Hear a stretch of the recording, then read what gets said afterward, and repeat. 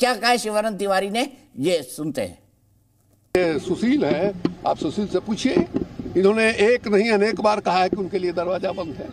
तो सुशील मोदी ने उस समय प्रोग्राम में अभी तीन दिन पहले की बात। लेकिन आज कहा नहीं है कि दरवाज़ा उसमें लेकिन आज भी दूरी दिखा क्या कर, जैसे नीतीश कुमार वैसे सुशील मोदी लेकिन आज भी तेजस्वी के साथ बैठे नहीं बगल में अरे नहीं बैठे तो उसके लिए हम क्या करें? सर सर थे।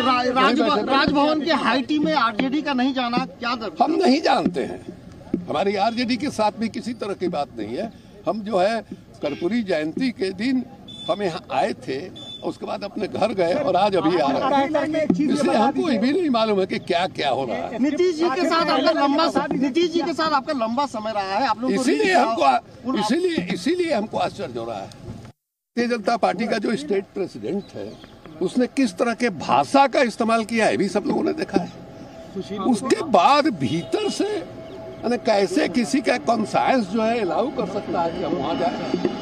इसलिए पहले आने दीजिए किस लिए गए हैं क्या है? मीडिया में आ रहा हाई टी है। तो हाई टी का मतलब हम बहुत समझते नहीं है। लेकिन आप लोग से दूरी तो बना रहे हैं। आपको बुलाए नहीं समय लेने पर। नीरज कुमार कहा तो है कि हम बुलाएँगे। ऐसा नहीं है कि कहा कि हम नहीं बुलाएँगे कहा है बुलाएँगे। और हमने आज के लिए समय मांगा है। तो देख लीजिए अगर समय देते हैं कह दिया जिसको जो समझना है समझे। नीरज कुमार ने साफ़ कहा है जिसको जो समझना है समझे। हाँ, तो सही बात है। तो हम तो समझ रहे हैं कि ऐसा काम वो नहीं करेंगे। शिवानंद तिवारी जी बड़े नेता हैं आरजेडी के। वैसे वो भी कई पार्टियाँ बिहार में कब नेता कौन किस पार्टी में है ये मालूम नहीं पड़ता। और वैसा वहाँ की राजनीति में जा रहा है। कल पटना में विधायक दल की बैठक है बीजेपी के और कल दोपहर में जेडीयू विधायक दल की भी बैठक है। News.